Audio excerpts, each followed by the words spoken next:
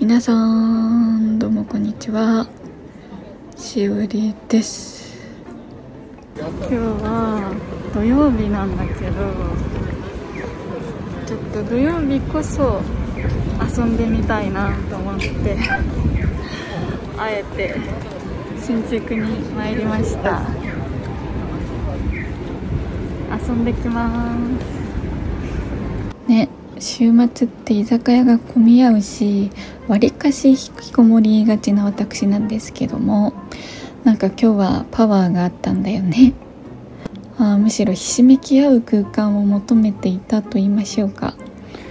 多分あれだな。夏祭りとかに行けてないからさ。もみくちゃ浴ということで本日は思い出横丁といえばゴールデン街歌舞伎町2丁目。あと、まあ、伊勢丹？などなど。新宿を代表するカルチャーではなかろうか。結構空いてるじゃん。なんで？最近来れてなかったけどこんなに空いてました？あでもまあいくらひしめき合う空間を求めていたからといって結局空いてることに安堵している私なんですけどもね。ということで迷いつつスタートです。なんとこちら普段は女性1名の利用はお断りしているらしいんです。ただねあの土曜日はマスターが違うのかなかなんかで今日は入れていただきました。土日に動くといいことありますね。というわけで乾杯あの焼酎のコップ酒それがおすすめみたいだったんですけどちょっと1軒目だったからね。とりあえずこのビールで喉を潤しまして来ました。早い。もつの串。あメニューは至ってって簡易的なのでとりあえずマスターとコミュニケーションをとってこの辺のものをいただくって感じなんですけどもうこの汁私にもかけてってなるね。これは一体全体何回目の継ぎ足しなんでしょうかね。そんな歴史を感じるもつくし。そりゃ美味しいよ。おいしいです。もう入る時は空席あったんですけどもう10分もすればひしめき合い状態。この至近距離だからこそ生まれる会話とあとオープンエアならではの熱量。しかもこの席が一番の特等席。目の前に大鍋ございますのであ全ての湯気私にかかっておりましてさらにこの真夏日。はい。もう汗で顔面テカテカ。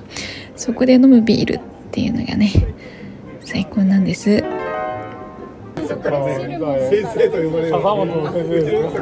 でこの汁が元気の源。もうこれはあれだもんあ点滴にしたいぐらいだよ。でこれがね常連さんおすすめの赤身なんだけどここではハラミのことを赤身って呼んでるらしくてねこれの油の乗り方がまあ上品でその辺の高級焼肉店で出てきそうなほどの美味しさ。これはマストで頼んで。で1軒目はゴーヤ肉巻き。ゴーヤの串って珍しくない？でこういうお店は長居すると逆に失礼なので私みたいなちょこっとずつ飲みてえよって人には本当に最高。もうこの時も滞在時間20分ほどでもうサクサクっとこの瓶を飲み干していったのであ1軒目から結構酔いが回っている私です。というわけで大満足の1軒目。入れて本当にラッキーだったな。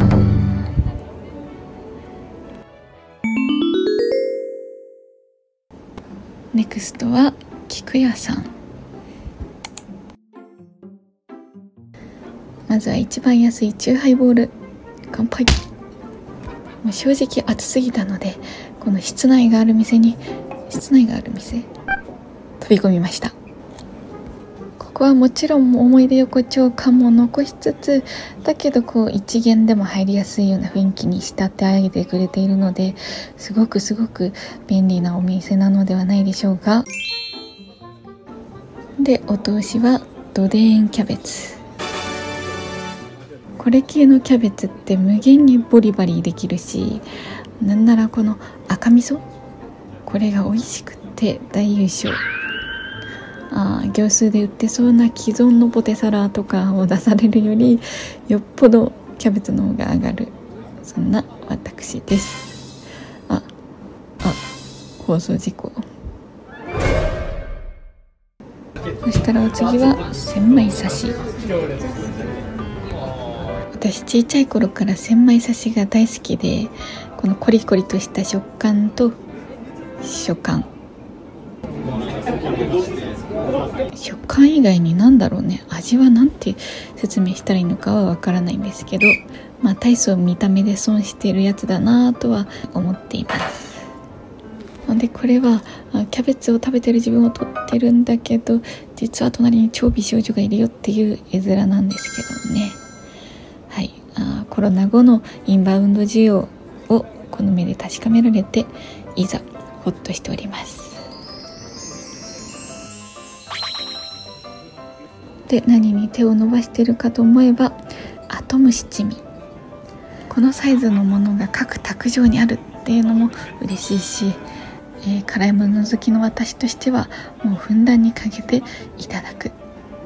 これぞ幸せです。というわけで来ましたげんこつコロッケコロッケですか。な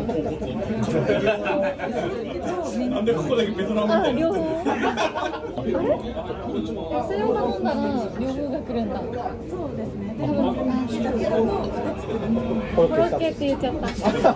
えでもマジでこのコロッケめっちゃ美味しいんです。すいません。あのこのメニューを頼みたくてコロッケくださいって言っちゃったんだけど。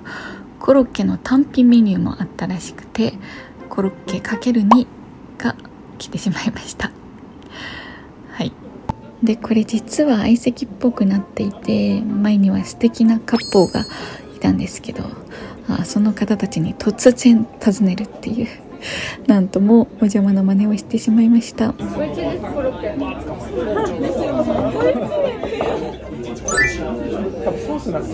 本当中まで味がしっかりで揚げたてサクサク。そしてこのボリュームもう言わずもがなお酒が進む。でこの菊屋さん随一のストロングポイントといえば店内におトイレがあること。はいあの 思い出横丁ってどのお店も基本あ共用のおトイレ。があるんですけどもね。まあこういうとこだと女性でも来やすい。あデートなんかに連れてくる時は是非菊屋さんいかがでしょうか？知らんけど。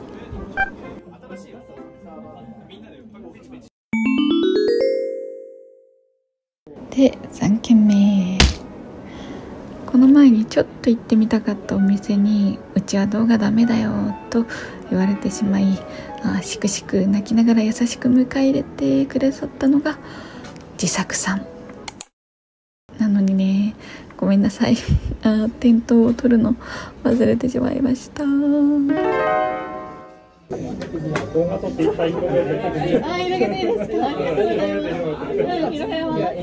別に私前の店振られましたって言ってないのにさこんなこと向こうから言ってくれちゃって本当優しいからみんな言ってということで初手サバのなめろうサバでなめろうかなんですけどこれがサバのうまみとあと薬味がふんだんに使われててめっちゃ好きな味でした味めっちゃ美味しい。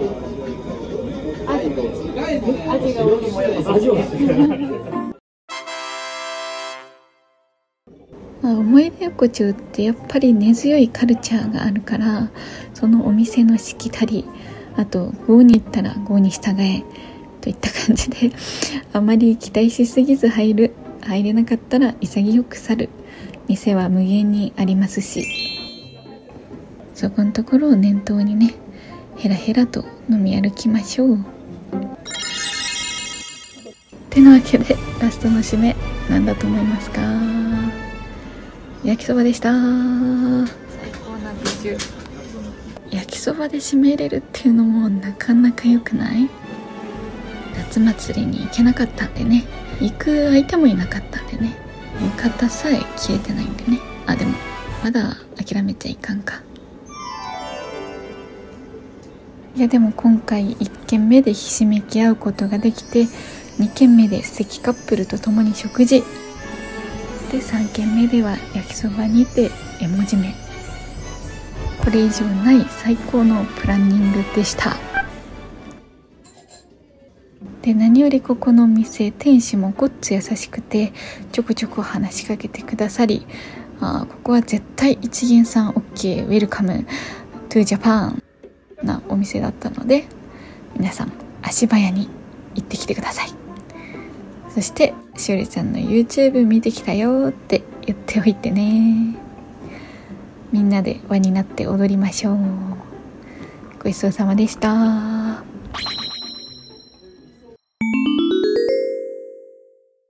えー、アポなしもアポなし。